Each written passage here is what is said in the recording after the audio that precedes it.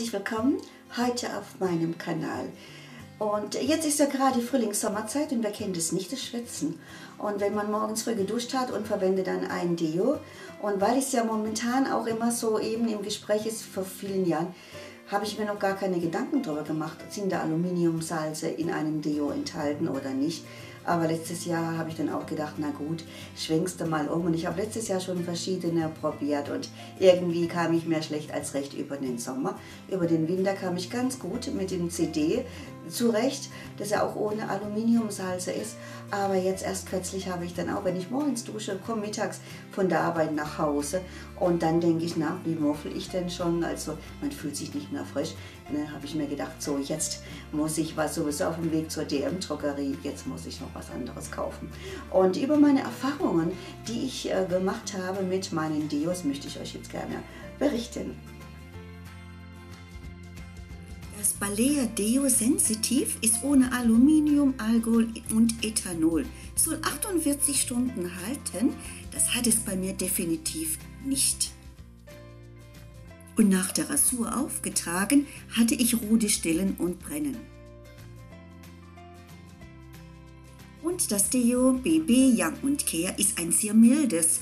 Und ich habe mir gedacht, das heißt ja auch Deo Balsam, habe mir das gekauft, aber es hat auch nur einen guten halben Tag gehalten und war nicht geeignet für den Sommer. Und dann habe ich CD Deo verwendet, Wasserlilie als Spray und habe es mitgenommen in den Urlaub. Es soll ja ganze 24 Stunden halten und ich muss sagen, über den Winter hält es auch, was es verspricht und ich habe mir dann den Deo-Roller dazu gekauft. Jedoch für den Sommer nicht optimal.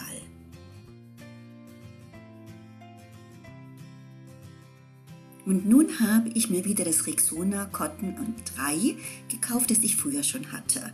Und es hält für 48 Stunden, also es hält wirklich einen Tag. Allerdings sind halt Aluminiumsalze drin, wo ich eigentlich vermeiden wollte. So, jetzt wisst ihr, wie, welche Produkte ich derzeit jetzt verwende.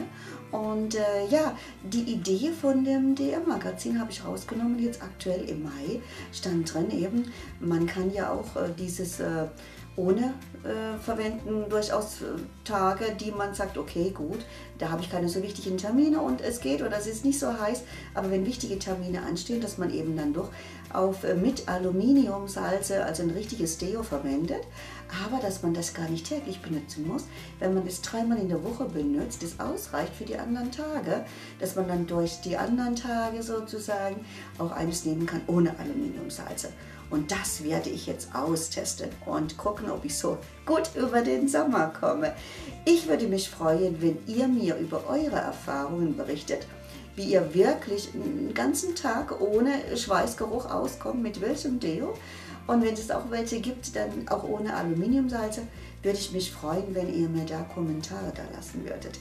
Und ansonsten wisst ihr ja, hier ist äh, mein äh, Kanal, könnt ihr gerne kostenlos abonnieren, da freue ich mich natürlich drüber. Und oben habe ich dann auch noch äh, Videos verlinkt, die ihr gerne könnt mal reinschauen. Ja, dann sage ich für heute, ciao.